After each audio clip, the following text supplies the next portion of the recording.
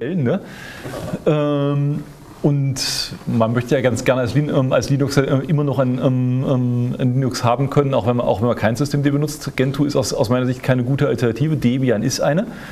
Ähm, also, ähm, was mache ich, wenn ich Debian ohne ähm, Systemd haben will? Geht noch, immer noch. Ähm, die magischen URLs aus meiner ganz persönlichen Sicht, wenn man keinen ähm, Dev1 verwenden will, ähm, habe ich hier mal an die, äh, an, die, ähm, ähm, an die Wand geworfen. Der ähm, Mirabilis oder, ähm, oder Thorsten Glaser hat da irgendwann mal einen, einen, Server aufgesetzt, an dem habe ich mich ein bisschen beteiligt. Ähm, da gibt es ein paar Pakete ähm, unter diesen beiden Abquellen.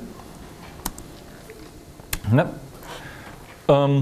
und das Erste, was man machen kann, wenn man rausfinden will, ähm, warum, ähm, ähm warum man alles, ähm, was man alles deinstallieren muss, wenn man, ähm, wenn man kein System D haben will, ist apt-get install prevent system d completely.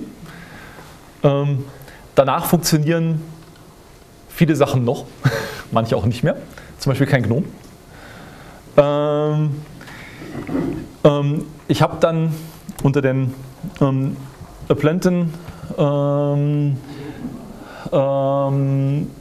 Tools, ein, ähm, oder Paketen ähm, mal ein paar Pakete ähm, zusammengebaut, mit denen man Paketversionen von verschiedenen Sachen, die man vielleicht so brauchen können wollte, ähm, ohne Systemd und Pulse-Audio-Abhängigkeiten ans Laufen kriegt. Ähm, unter anderem einen EUDEV, sodass man, sodass man auch einen UDEV hat. Ein bisschen Hilfe könnte ich auch noch brauchen. So, das wäre schon. Fragen? Glaube, wir haben noch frei. Heißt? Was? Ja, die waren, die, die, die waren mir zu undurchsichtig, deswegen bin ich da, bin ich da weggeblieben. Ah. Und haben auch ansonsten ein bisschen komische Entscheidungen getroffen, wie sie irgendwie diese Systeme organisieren. Hat mir nicht so richtig gefallen. Ich habe beschlossen, ich mache dann mal erst mit der, mit der Sache weiter. Das ist immer noch eine Interim-Lösung, aber sie funktioniert irgendwie. Also auch sehr, sehr weitgehend. Kann ich eine, was sind deine Argumente gegen Systemd? Ähm, unsicher. Okay. Und mehr. War die gleiche Frage. Mhm. Aber ähm, eigentlich möchte ich in, diese, ähm, in, die, in die Diskussion, warum will ich gar nicht rein, weil es ist aus meiner Sicht primär eine Schlammschlacht. Ich habe keinen Bock drauf. Ich, find, ähm, ich, ähm, ich, bin, ich bin ein alter Unix-Admin, ich mag Unix, ich mag die Unix-Tools-Philosophie, ich, ähm, ich mag the, the, ähm, das Konzept The Right Tool for the Right Job.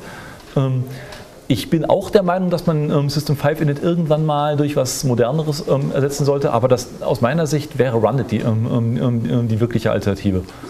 Und das ist auch das nächste Projekt, wenn, ähm, wenn, wenn, ich, wenn ich erstmal wieder eine stabile Plattform am Laufen habe.